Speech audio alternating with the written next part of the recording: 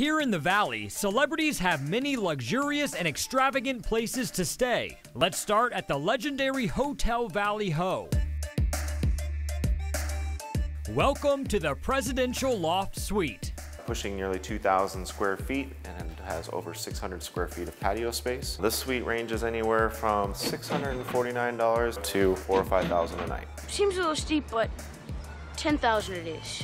The list of celebrities that have stayed here, three pages long. Drake, Katy Perry, John Travolta, Billy Bob Thornton, Burt Reynolds, Jamie Foxx, Hugh Jackman. Is there anything more comforting? Next stop takes us up north to Four Seasons Resort Scottsdale at True North. More specifically, the Sedona Suite. The Sedona Suite offers the utmost and luxurious accommodations in a residential setting. But the best part about the suite is the outdoor features, complete with a luxurious plunge pool elevated in the desert and two outdoor garden showers. Guess who stayed here? Here's a hint. That's right, Oprah Winfrey. Now to Paradise Valley and the Sanctuary Resort and Spa. This boutique oasis nestled on Camelback Mountain has hosted many celebrities, including Jay-Z and Beyonce, who nestled into one of the private estates during their honeymoon, an estate just like Casa 7.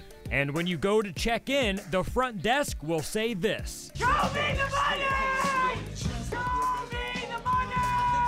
A couple thousand dollars a night provides you with 6,000 square feet of mountaintop paradise.